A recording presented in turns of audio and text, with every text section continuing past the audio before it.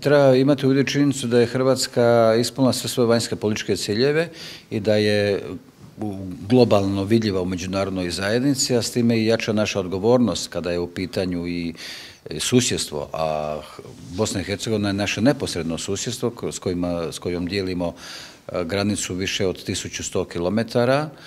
U Bosni i Hercegovini živi, žive Hrvati koji su autohtoni narod, sukladno Dejtonsko-Pariškom sporazumu jedna država, dva entiteta, tri konstitutivna naroda, ali jednakopravna naroda.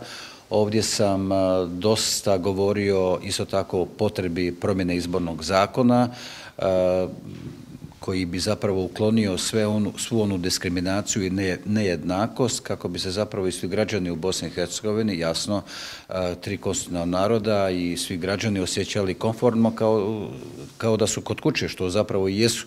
I Hrvatska će pomagati funkcionalnu, stabilnu, dakle institucionalno funkcionalnu, stabilnu i sigurnu Bosnu i Hercegovinu.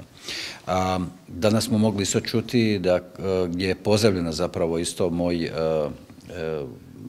naziv zapravo hrvatske uloge u međunarodnoj zajednici, da je Hrvatska odvjetnik Bosne i Hercegovine na forumima Vijeća za vanjske poslove, ali zapravo i na svim forumima, jer ono što je Hrvatska ostvarila, to želi isto tako i Bosna i Hercegovina. To je članstvo u, u Europskoj uniji, članstvo u NATO, NATO savezu.